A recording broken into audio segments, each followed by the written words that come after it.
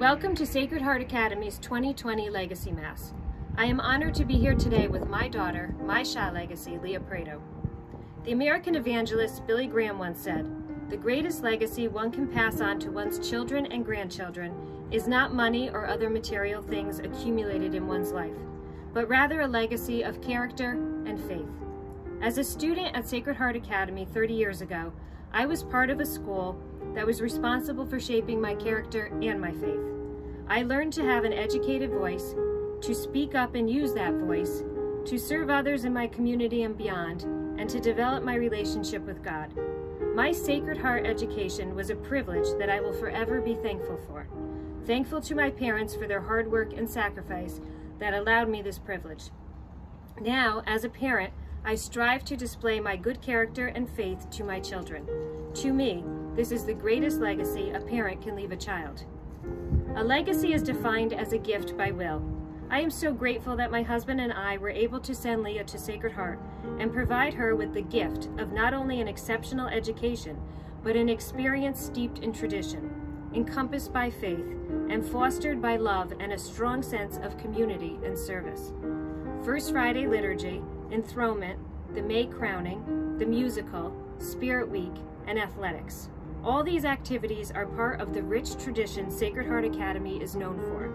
All these activities are part of what defines an Excelsior woman. The great American poet Maya Angelou once said, if you're going to live, leave a legacy. Make a mark on the world that can't be erased. When the class of 2021 crosses the stage of the gym in May, they will, like my class of 1991 and all those that came before, as well as all those that will follow, be ready to make their mark on the world, employing all that SHA has taught them. They will shape their legacies in their own ways, leaving a lasting imprint for the better. And who knows, perhaps they too, like me, will have a daughter someday who will carry on their legacy at SHA.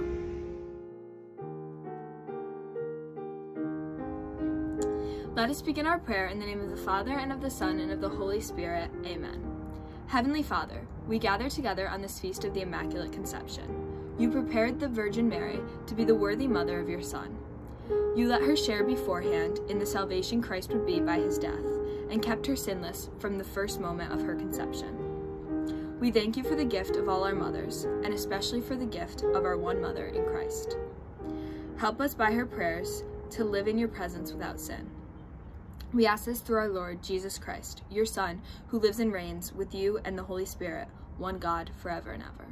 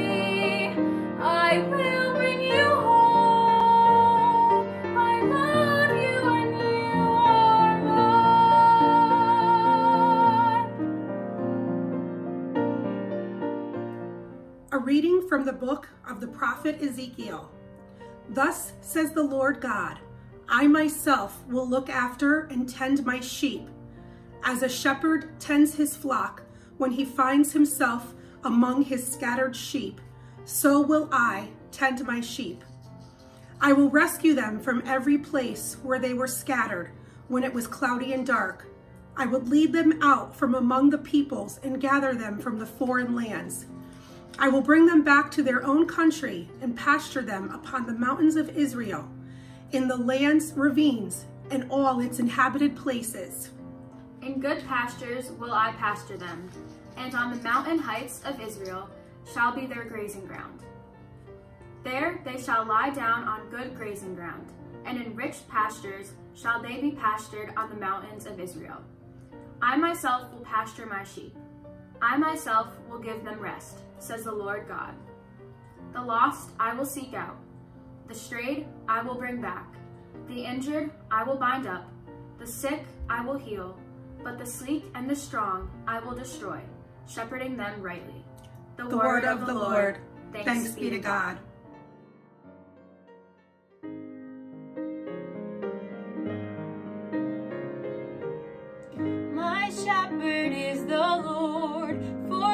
Nothing shall I want. Green are the pastures where I'm led to repose. Near waters still and deep, God will refresh my soul.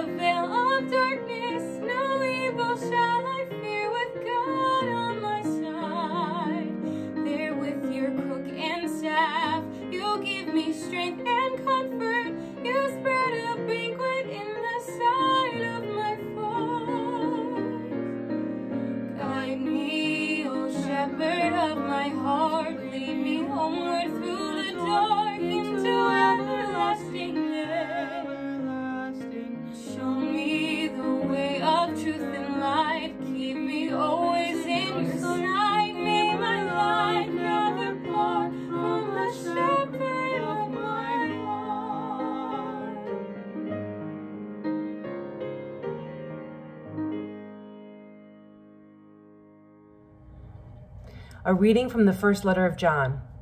Beloved, let us love one another, because love is of God. Everyone who loves is begotten by God and knows God. Whoever is without love does not know God, for God is love. In this way, the love of God was revealed to us. God sent his only Son into the world so that we might have life through him. And this is love, not that we have loved God, but that he loved us, and sent his Son as expiation for our sins. Beloved, if God so loved us, we also must love one another.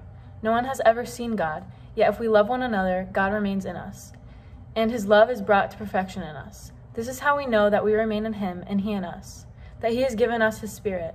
Moreover, we have seen and testify that the Father sent his Son as Savior of the world.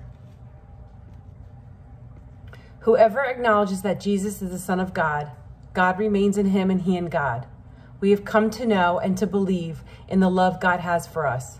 God is love, and whoever remains in love remains in God, and God in him. The word of the Lord. Thanks, be to God. Alleluia,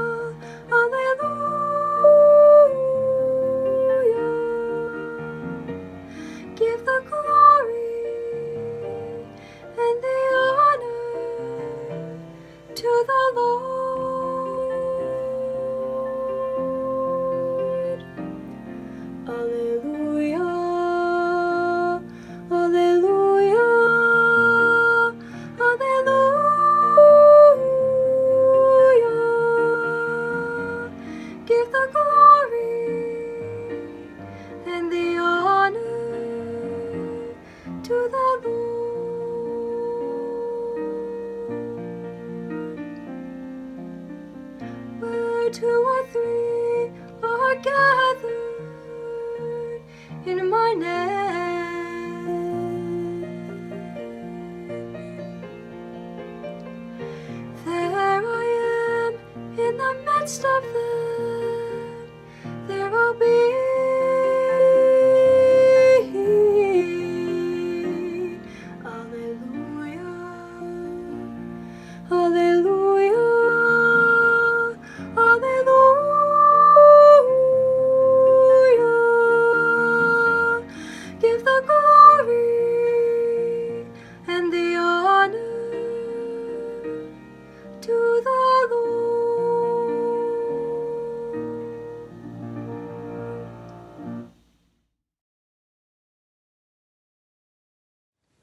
reading from the Holy Gospel according to John.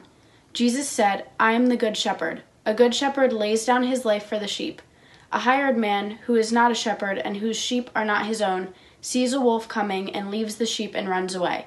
And the wolf catches and scatters them. This is because he works for pay and has no concern for the sheep. I am the good shepherd, and I know mine, and mine know me, just as the Father knows me, and I know the Father, and I will lay down my life for the sheep. I have other sheep that do not belong to this fold. These also I must lead, and they will hear my voice, and there will be one flock, one shepherd. This is why the Father loves me, because I lay down my life in order to take it up again. No one takes it from me, but I lay it down on my own. I have power to lay it down and power to take it up again. This command I have received from my Father. The Gospel of the Lord. Praise to you, Lord Jesus Christ.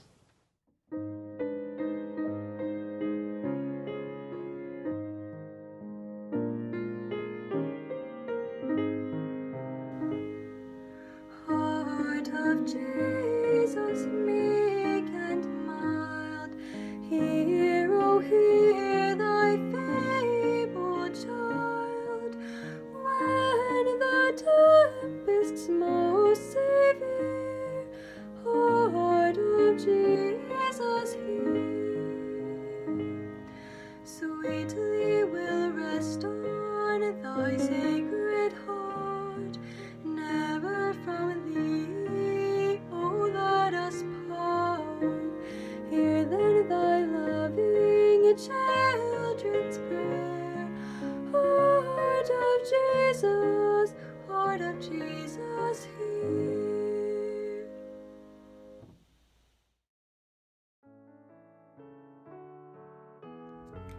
Let us now offer prayers for the world, for our country, for our community, and for our own special intentions.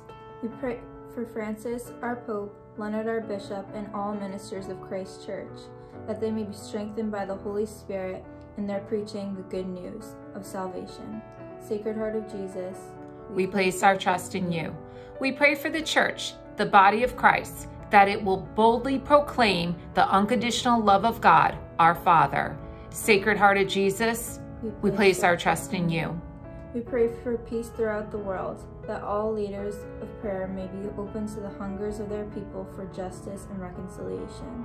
Sacred Heart of Jesus, We place our trust in you. We pray for those who suffer from sickness and disease, hunger and thirst, homelessness and unemployment. We pray especially for all those who have been impacted by the coronavirus, that they may receive a loving response to their needs. Sacred Heart of Jesus, we place our trust in you.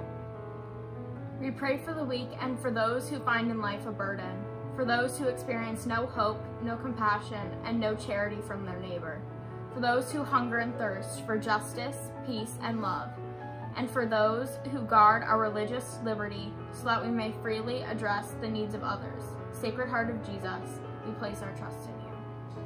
We pray for our families, especially those women who have been strong models of Christian leadership and faithfulness, and for all alumni who have mentored us on our journey of life.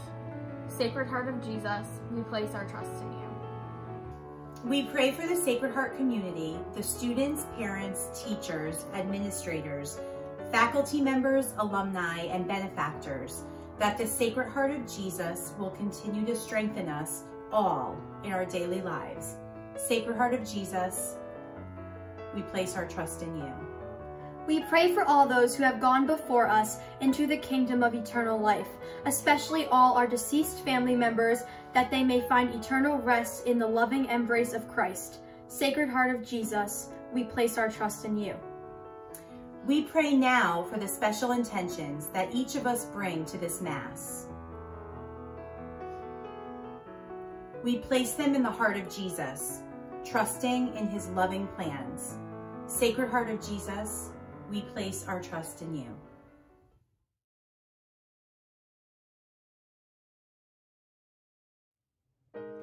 I don't mind if you've got something nice to say about me. I enjoy an accolade like the rest.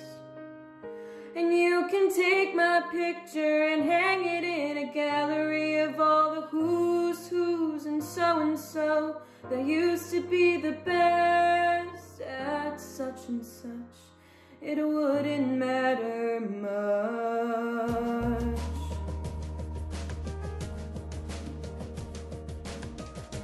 I won't lie, feels so right to see your name in lights. We all need an attaboy or attagirl. But in the end, I'd like to hang my hat on more besides the temporary trappings of this world.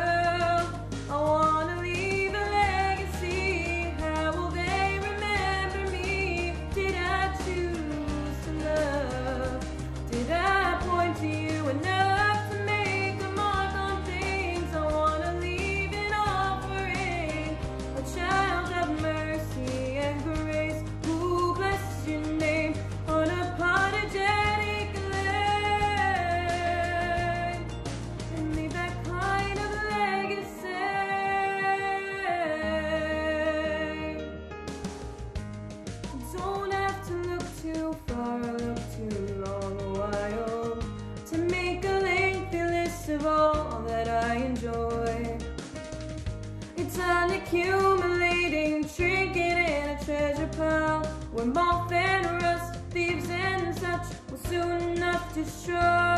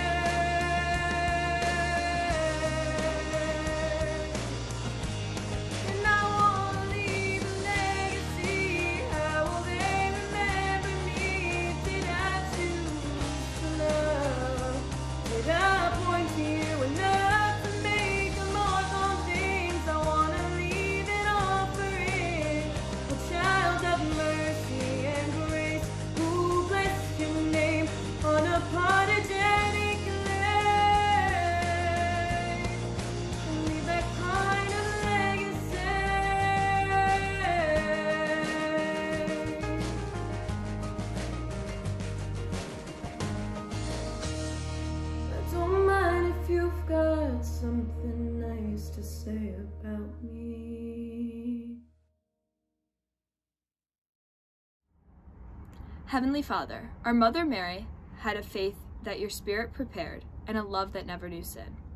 Trace in our actions the lines of her love in our hearts.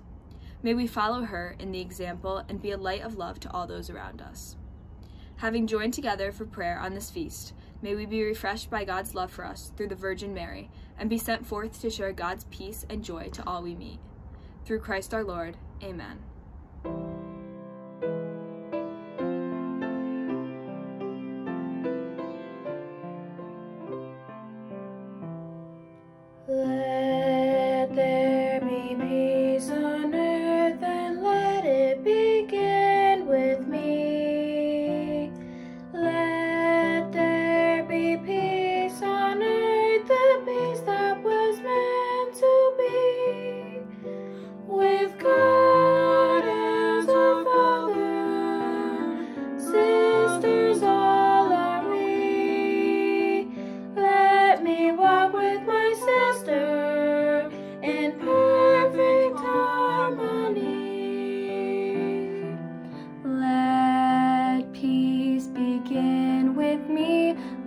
This be the moment now. With every step I take, let this be my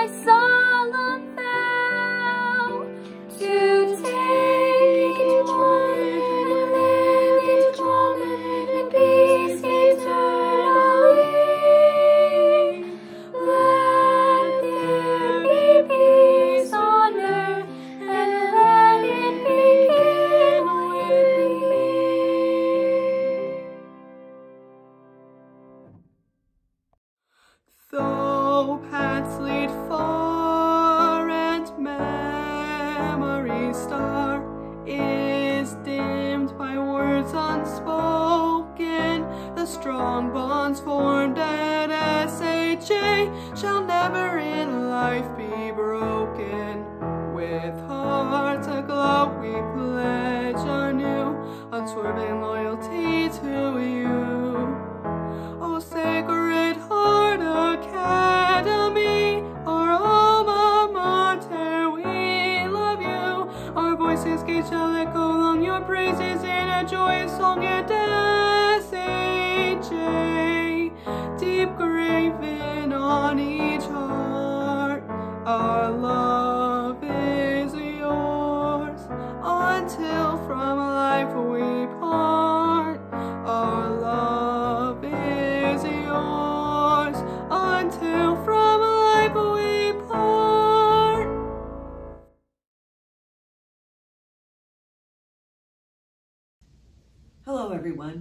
We're so happy today to celebrate this legacy prayer service. Despite the pandemic, we are working really hard to continue all of our rich traditions. Traditions are such an important part of life at Sacred Heart. Since we are a family, we have wonderful family traditions, and this is one of the important ones. Here we are celebrating our alums. Who's more important to us than our alumni? Ladies, you are the ones who continue the mission of Sacred Heart Academy long after you leave us. You make us so proud every single day. And on behalf of all of our school community, I just want to thank you. Thank you for the witness that you give. And we want you to know how important you are to us. Every single day we pray for you. We pray for all your special intentions. And we especially think of you during these very challenging times. God love you and have a wonderful rest of your day.